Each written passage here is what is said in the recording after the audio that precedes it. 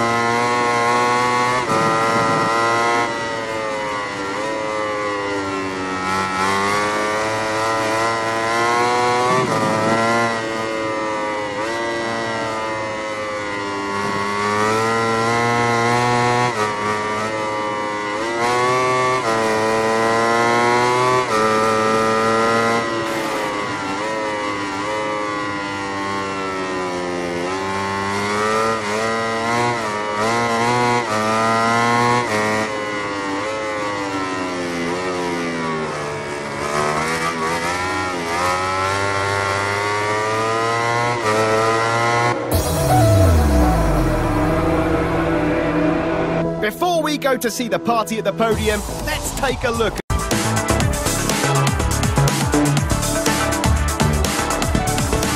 Here's Dovizioso who takes top step on the podium. Dovi wins.